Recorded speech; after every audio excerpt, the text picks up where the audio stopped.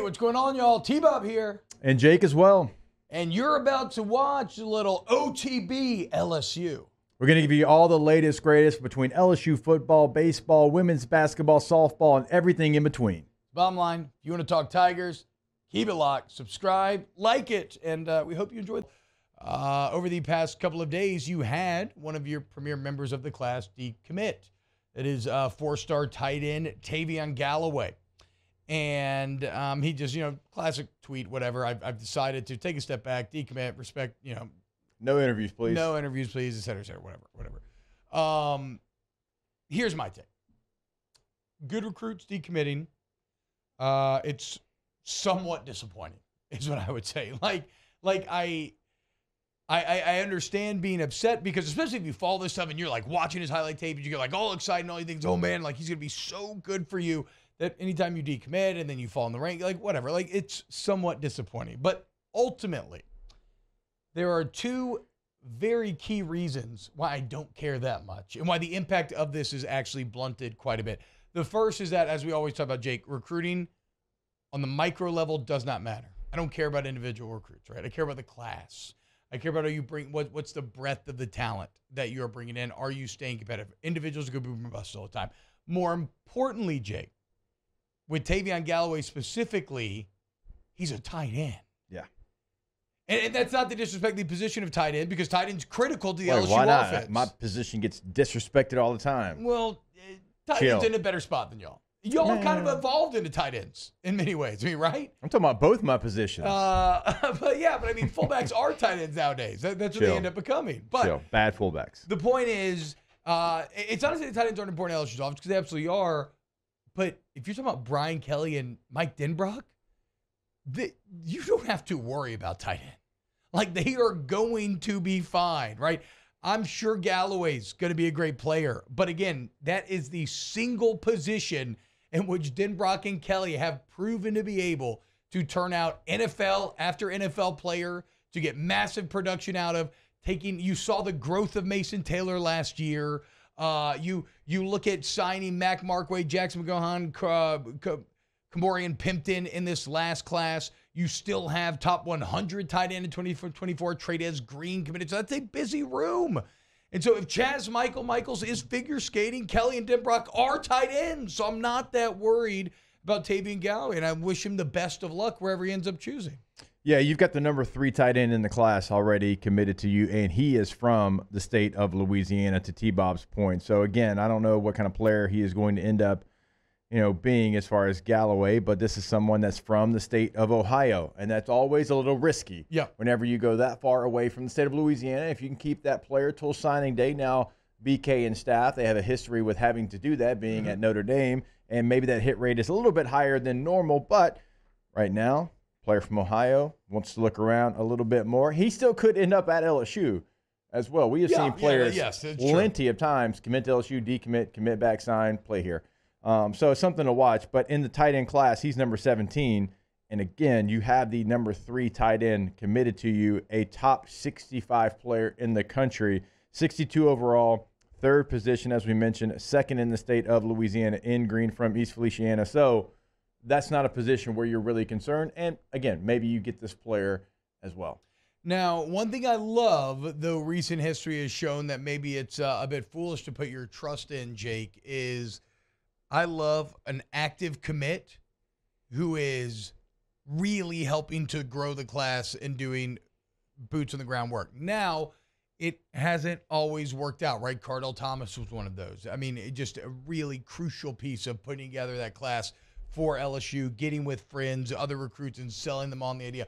Walker Howard was okay. That didn't exactly end up working out. Right now, he's now at Ole Miss with Lane Kiffin, but you have another guy in Colin Hurley who has been doing it and then like doing it like those two names I just mentioned, but even to a further extent when it comes to how obsessed the quarterback appears to be with LSU, with the purple and gold, with trying to convince uh, other major recruits to come to Baton Rouge. And he was in town this last weekend with 2024 wide receiver Dre'lon Miller, who um, is one of those guys. He set a June 29th commit date, but he's got all the offers, and it looks like LSU and USC are potentially the two schools uh, vying for his services. But I want to talk about Hurley for a second here, Jake, because he's got the Elite 11 finals next week in Los Angeles. He's a five star according to 247, a four star with the other two major um, major uh, networks. And he pulled what I call a reverse evangel or an inverse Monroe. He reclassified from 2025 to 2024. So Yeah. he bumped up to get to school sooner to Well, try to make his dreams come Jokes true. on you. Uh, we've had players that John David Booty left after his junior year in high school and went to USC. Oh, that's right. Okay, never mind. So throw that shade at West Monroe and Blackwell. okay. I mean, I think Evangel and West Monroe Yeah. are both pretty, uh, pretty. And by the way, uh, Shreveport and West Monroe are not by each other. Uh, to those listening out there I that thought they were, and that. I learned that the hard way. Yeah. Uh, planning to go to a baptism and realizing, oh my God, I have like Yeah. a five-hour drive or something ahead of me. Well, you look at yeah, Shreveport and West Monroe about an hour and forty minutes away from each other. okay, maybe it's something. Maybe, I don't. Know but you're talking about going from here to Monroe, here to Shreveport. Yes, it's a different drive. Different drive. Just putting that out there, a little PSA. Uh, some more recruiting news. Joel Rogers from West Feliciana. He decides to commit to LSU. This is a four-star uh, prospect. He is someone that looks like he's going to be playing safety in the college ranks. He is a top 350 player in the nation, 31st at his position, eighth in the state of Louisiana. So you got a decommit, but you also got a four-star commit yesterday and an in-state player. Uh, well, and Jake, I figure you're gonna like this next story. Um, I don't exactly know how to say his last name. There's a 2024 wide receiver, uh, Kylan Biot, maybe Billiot, uh, B I L L I O T. There's a different few different ways you could pronounce that, but um, I think this is why you're gonna appreciate it, Jake. He is someone that LSU's had their eyes on, had not chosen to offer yet. He's going into senior year.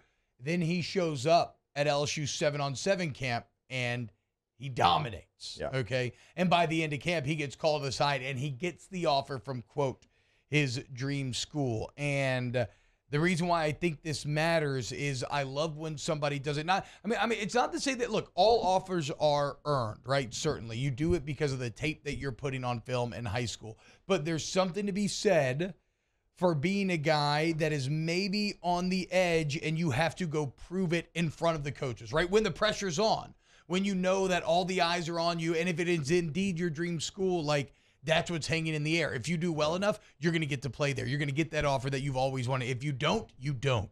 And to perform under that pressure, I think those are guys that it's it's a good sign going forward. And the other part that I love about it, Jake, is you always talk about it. You know, the the last member of the LSU signing class and just a kind of crazy run of success they tend to have, or um, with baseball, we talk about guys like Cade Beloso, right? Um, your your your Louisiana guys that maybe aren't your five stars, but they're the meat and potatoes, the the kind of bones and sinew of these great rosters. The guys that love putting on the uniforms. You ha- you need those guys, and it looks like Kylan is kind of cut from that same cloth coming from Houma. Uh, you know I love that. You know I'm going to be all about that. And there's so many stories we could give you of Louisiana guys like that, like you just laid. I mean, Jets went to camp like that. Think Yep. about that. Like his brother was a starting quarterback.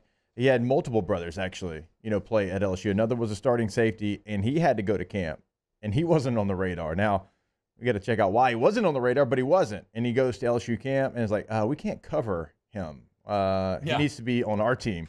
And so they offer him there. And so I love stories like that. I That's love guys. did. And I love, yeah, I love guys from Louisiana because it means so much to them.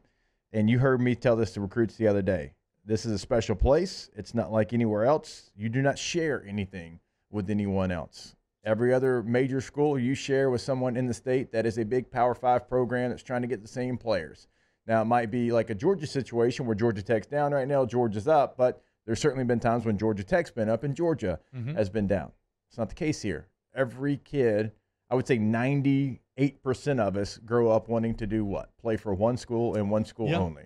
So when you realize that dream, when you have offers, but you're waiting on that offer and you get it, it's a special moment. Wow, Jake, what incredible takes. I mean, those guys, they're just the best. Uh, I think so. And if you think so, again, hit the like button, subscribe, ring the bell so you get notifications when we post every single day here on OTB LSU.